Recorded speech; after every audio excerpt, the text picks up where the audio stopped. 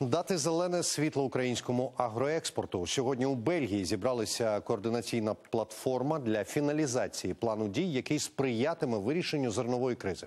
У гібридній зустрічі взяли участь представники України, Єврокомісії та країн ЄС. Найбільше знає Ірина Іванова. Вона в Брюсселі. У центрі обговорення український план дій щодо виходу з зернової кризи. Єврокомісія опрацювала пропозиції Києва і надіслала свої коментарі для ознайомлення. Сьогодні сторони фіналізують план. Він стосується налагодження співпраці з Польщею, Угорщиною та Словаччиною, які блокують ввезення українського зерна.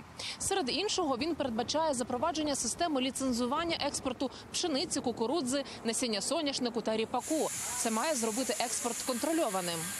Обговорення плану було конструктивним. Це позитивний крок уперед. До нього приєдналися всі сторони. Сподіваюсь, досить скоро ми зможемо вирішити цю ситуацію. На зустріч у Брюсселі запросили усі причетні сторони, зокрема Польщу, Угорщину та Словаччину, які вийшли з координаційної платформи.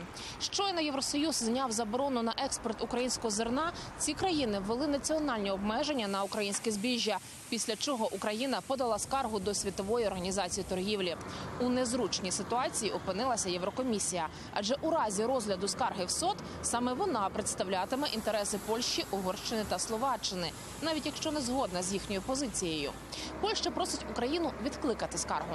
Напередодні відбулася онлайн-зустріч міністрів аграрної політики обох країн Миколи Сольського та Роберта Телуса, на якій серед іншого обговорювали ліцензійний механізм. Польський уряд поки ще вивчає пропозиції України. Вважаю, що це була хороша розмова, яка прояснила певні речі. Як неодноразово підкреслив український міністр, треба вгамувати зайві емоції, які пролунали з боку України, а також можливо і з польського боку. Були коментарі, від яких варто було би утриматися. Ми домовилися впродовж тижня-двох зустрітися ще раз. Дуже радий цьому і кажу щиро, що ми розмовляємо і будуємо механізми співпраці на майбутнє. Це відповідальність прикордонних країн України і насамперед Європейського союзу. Україна теж налаштована на вирішення ситуації з Польщею. Про це заявив міністр закордонних справ Дмитро Кулеба і навів приклад Румунії та Болгарії, які не стали запроваджувати національних заборон на експорт українського зерна. Отже, можливі рішення існують. Підсумував міністр.